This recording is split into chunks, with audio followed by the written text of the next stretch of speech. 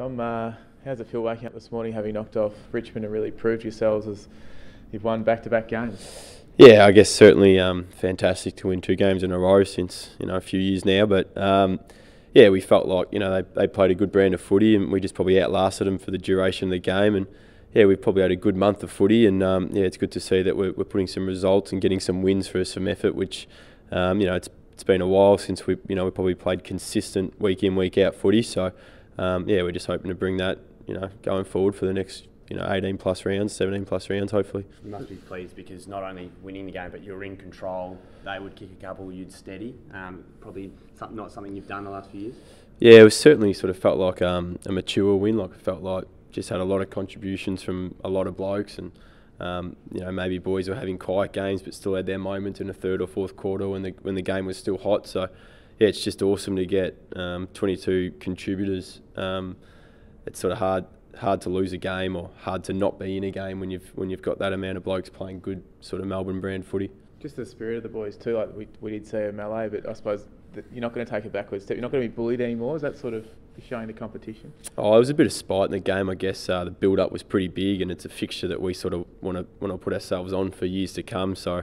Um, yeah, I, I, guess every game's important, but um, you know, playing Richmond, big crowd, I guess, you know, a fair bit of emotion out there. It was good that we stood up for for mates in uh, situations, and um, yeah, probably didn't affect the result of the game at all. But uh, good to show the supporters that we're, we're really sort of invested in, in the game. Might affect some wallets though. Some of the boys might be a little bit poor. They might be asking for some loans next week. Yeah, we'll have to shout a few coffees this week. I think there's a couple of boys a bit nervous waiting to, to hear from uh, Josh Mahoney.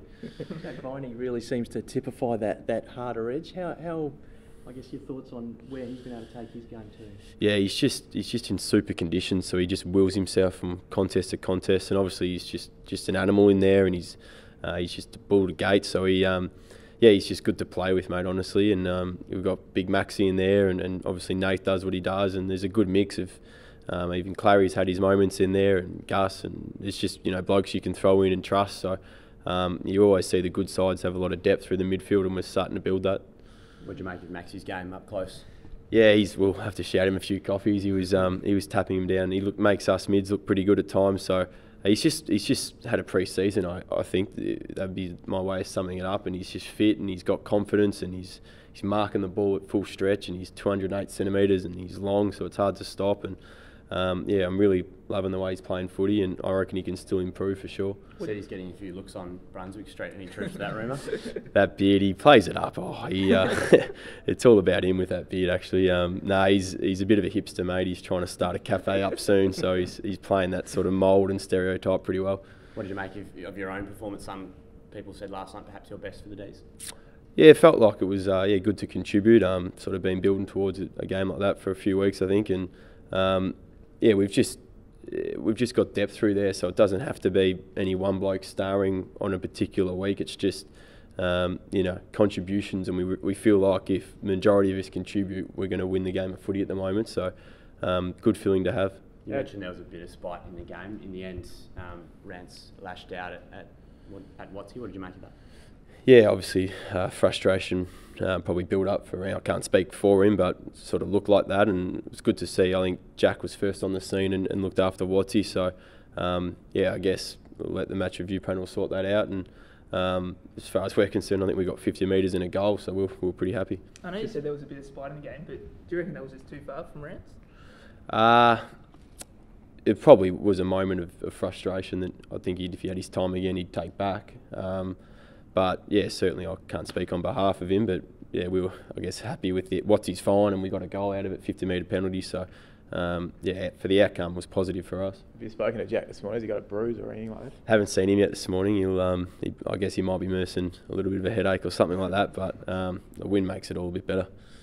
And just, um, I guess Jack's reaction to that, as in, as in Viney, you you know, flying the flag. It's not wanting to preempt anything, but you'd almost take whatever you got, sort of just showing that you're not going to take a backward step.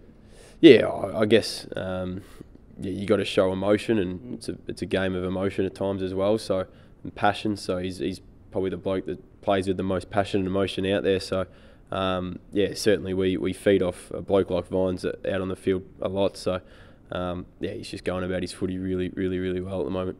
Important the last two weeks against big clubs for the for the confidence for the psyche of the group? Uh, yeah, I guess um, yeah, we've had some decent crowds the last two weeks, and it's good to, to play well in front of our supporters and um, get them on board, and, and they're being fantastic and loud at the games. And I guess every game, um, we, you know, we feel like at the moment, if we prepare well and, and do our homework, and, and you know, we're, we're switched on and give that 120 minutes, it's going to be, you know, we're going to give the opposition a real tough contest. And you've just ticked off another one of those those hoodoos that you sort of carried around for a while. That the back to back is that is that another thing that just is a tick in the box for you? Oh, it's not necessarily spoken about, but I'm sure most players are aware of it. So it's certainly you know just another little thing that I guess you, you can just take off the back. But um, yeah, it's not, not nothing too major. Tommy Bugg's a guy who play, likes to play on the edge. When he starts pointing at the crowd and telling that Richmond cheer squad to shush, do you, do you guys have to say anything to him, or do you just um, letting you keep, keep playing the way he is? Yeah, I guess he, he he's another guy that plays a lot of passion and emotion. Um, he's a bit of a pest at times, so he's, um, yeah, I guess that's just you know Buggy being Buggy as far as I'm concerned. And um, if the, the coaches aren't happy with that, I'm sure they'll let him know. And um, I guess you know it's you know as I said, it was a build-up big week and a lot of emotion and, and you know sort of you know a few spot fights out there. So it was yeah just just nothing too too big. And another pretty excitable fellow, Petracca. Sounds like he played a pretty good game in the Resis. Has he been telling everyone about it?